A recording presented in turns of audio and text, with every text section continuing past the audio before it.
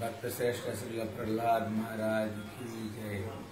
गुरुदेव प्रभुपाद सपरिकर गौर हरि की जय। आज भगवान नरसिंह देव का जन्म तिथि है। भक्ति जगत में बहुत सारी बाधाएँ हैं। इसलिए वेद कहता है, भक्ति मार्ग यह कटिकंठ गुरु भक्ति मार्ग कर्ण कांटा युक्त है। खुरश्च धारा निशीत दुरतया दुर्गम पस्तस्त कभी लोग कहते हैं, जो भक्ति मार्ग है जैसे ब्लेड का धार के ऊपर चलना जैसे ये मार्ग है। जैसे इधर उधर थोड़ी होने से कट जाती है, ये भक्ति मार्ग वैसे है। इसलिए भक्ति मार्ग में हर पद पद में बड़ा विपत्ति। इसलिए शास्त्र ने बताया, सत्यम सपने न विघ्नानी सहस्र तथा तपो विघ्न अजुतेन गोविंद। मतलब है, सच बोलो तो सौ विघ्न है, तपस्या करता हज़ार विघ्न है। अगर कोई भक्ति मार्ग पर चलता है वहाँ तो प्रति पद पद ही विघ्न है। यहाँ तक तो भी स्वर्ग के देवता लोग, वो भी भक्ति जगत में जो चलने वाले, वो भी उनका टांग पकड़ करके उनको घिसकना चाहते बोले, क्यों? कारण है यदि ये साधारण मरते जगत में जन्म लेकर के हमारे सर के ऊपर पैर रख करके कैसे बैकुंठ जाएगा? इसलिए वो लोग भी उनका टांग पकड़ कर खींचना चाहते हैं, ऐसे भक्ति मार्ग है। लेकिन ये भक्ति मार्ग में हमें मदद करने वाले कौन है? कहते भगवान श्री नरसिंह देव है, जिनको बताया, सर्व विनाशनकारी नृसिंह देव की जय।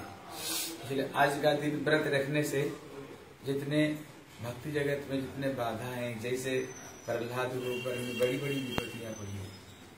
लेकिन श्री प्रहलाद महाराज का सारी विपत्ति को भगवान नरसिंह देव ने ही दूर किया है।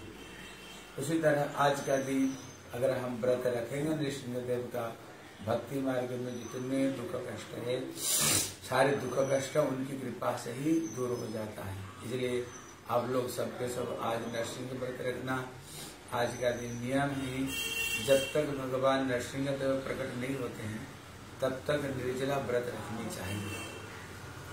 क्योंकि भगवान भक्तों का हृदय में कब प्रकट होते हैं जैसे विरह में तभी भगवान जैसे गोपियों का हृदय में, जब गोपियों ने विरह में गोपी गीत गाए हैं, तभी भगवान कृष्ण उनके हृदय में, तभी भगवान कृष्ण प्रकट हो गए इसलिए भक्त लोग व्रत रखते हैं कब भगवान नरसिंह देव प्रकट होंगे, कब भगवान नरसिंह देव प्रकट होंगे? इसलिए इसी विरह में भक्त लोग क्या करते हैं? भोजन नहीं करते हैं।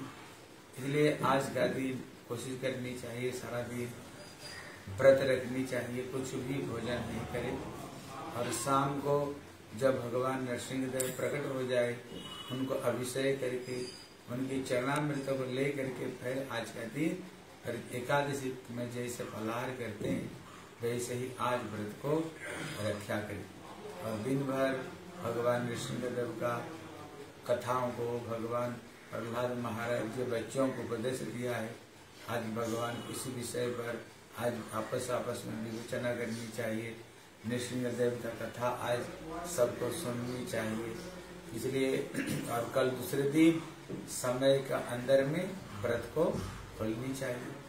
अगर किसका कोई विशेष कोई बीमारी है जो एकदम व्रत रख नहीं सकते हैं आप थोड़ा फल मूल ले सकते हैं। अगर व्रत रख सकते हैं तो बहुत बढ़िया है। इसलिए आज सबके सब भगवान देव को ज़रूर आप लोग व्रत रखो रखने से भजन का सारी बाधा विपत्ति भगवान देव दूर कर देते हैं। भगवान श्री नृसिंह देव की जय।